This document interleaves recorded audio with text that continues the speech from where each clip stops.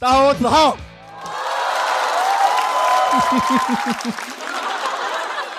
又来了我！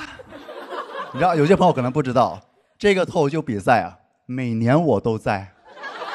有些评委都不在了，我还在。五个冠军有四个都不在了，我还在。其实我也自己也没想到能把脱口秀干出一种铁饭碗的感觉，你知道吗？我真的很烦恼，每年节目都会有弹幕说这个子浩到底是谁在看？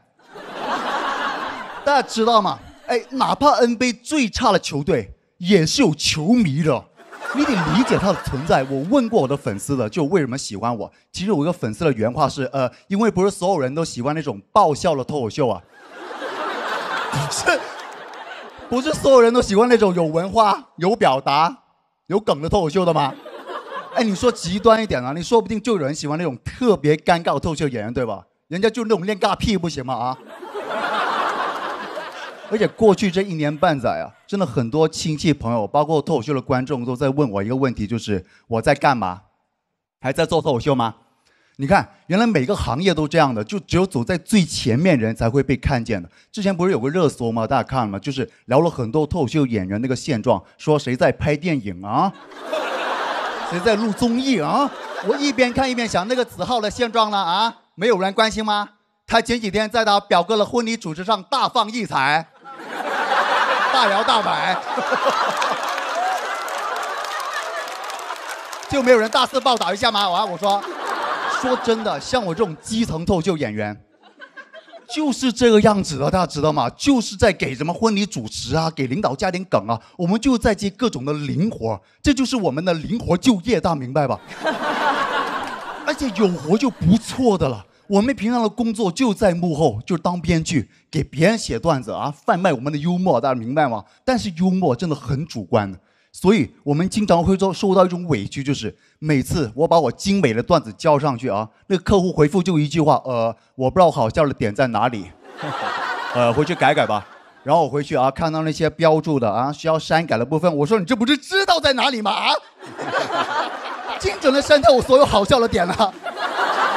我一直觉得我自己做了这个东西啊，就是买卖，买卖哪有什么叫爸爸当孙子的，搞得这么卑微的吗？我从小的观念呢，就是你想要花钱从我这里得到东西，你起码喊我一声老板吧。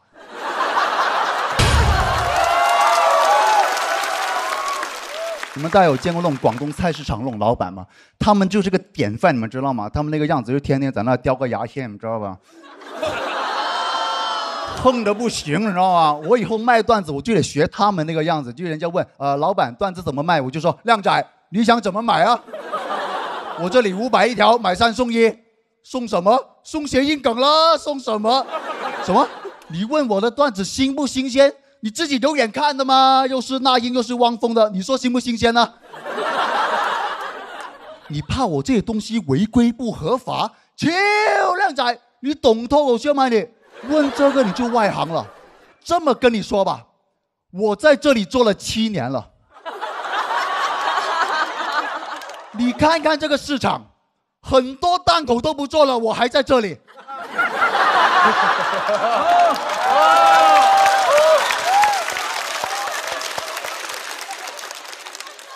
你问问这个市场其他人，谁不知道？我浩哥的段子就算不够幽默爆笑，但也绝对安全可靠。